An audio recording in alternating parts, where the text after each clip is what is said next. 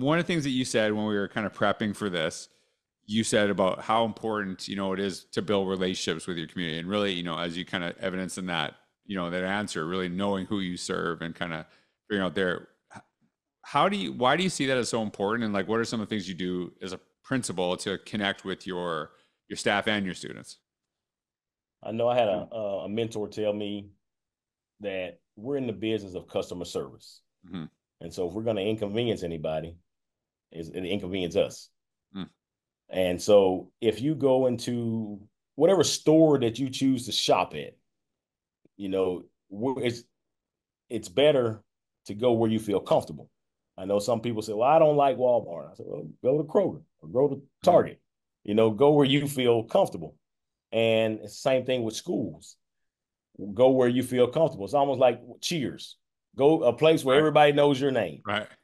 And uh, I know one of my goals is to learn all my kids' names. Uh, so one thing that I do, and it it helps. It is not it's not a perfect system, but we have school IDs, and I I print every kid's ID. If they need a replacement, I print it and with a picture on it, so that way I can learn the kids' names, learn their middle names, give them a nickname.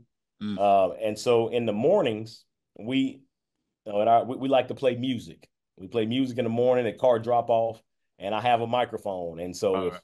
if you if your parents drop you off, I say, George, good morning. and uh, and you know, it, it embarrassed the kids some, but yeah. some smile and some parents love it. They'll have their phones out recording, uh, things like that. But that.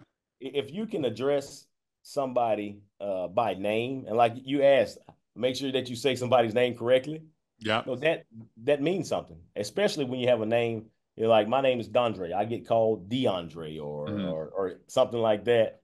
But if you take the time out to, you know, understand me and know my name and, and then know where I come from, know what I like, you know, it's it builds a a relationship, and that way, uh, you can have different conversations. And if I have a kid that I have I have given a nickname to, I've mm. talked to their parents, or I've gone to their house, you know, I, I, can talk to that kid differently than a teacher who's having right. trouble with this kid. Uh, I might be able to, you know, talk a little rougher to them or pull them in, and they may listen to me more. And I think it goes the same way with teachers. Um, there's been mm. times where if a, I notice a teacher's having a tough time, I'll I'll, I'll text or call her husband hey, hmm. everything okay?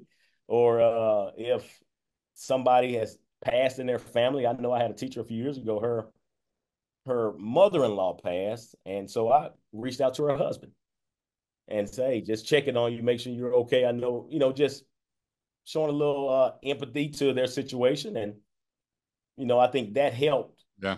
My teacher, even though I was reaching out to her husband. Yeah, that you know, I, I, first of all, you're gonna probably get in trouble. You're gonna probably get kicked out of Arkansas because you said that you can go somewhere else other than Walmart. Isn't that like?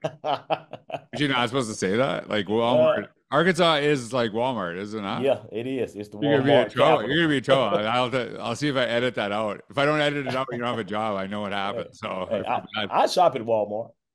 yeah, you, you, know, you can't say anything different now. That's for sure. So, um, that you know the I one of the things I love about this podcast, I know somebody's going to hear that and they're like, I'm totally doing that with our like school drop off because a lot of people dread the school drop off, right? And if you so like, it's probably not as smooth as anyone would like it to be, but at least if you can kind of make it fun, there's a real power in this. Uh, one of my favorite books I've read over the last year or so was uh, Unreasonable Hospitality by Will Guidara. He talks about um, he basically says we're all in the customer service business, and he's talking about from the perspective of uh, a restaurant. But I'll tell you, that was like that book has had one of the biggest impacts on me on educational leadership